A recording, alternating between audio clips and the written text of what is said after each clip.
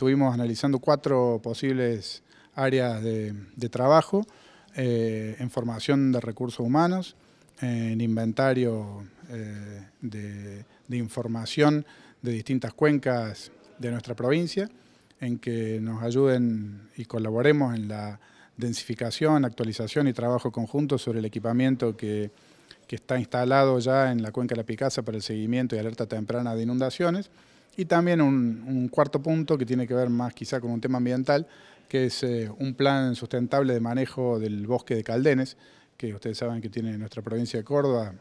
eh, que, se ha reducido de manera importante en los últimos años, pero que hoy nos quedan dos importantes zonas, una cerca del dique El Chañar, ahí en la cuenca del Quinto, y otra en el extremo suroeste de nuestra provincia, en el límite con San Luis y La Pampa, y queremos, junto con la Secretaría de Ambiente del Ministerio, desarrollar un programa sustentable de manejo ecosistémico de servicios ambientales de, de, ese bosque nativo, del cual estamos dispuestos a, preservarlo y a trabajarlo de manera sustentable, en conjunto con los productores donde se, encuentran esos bosques, así que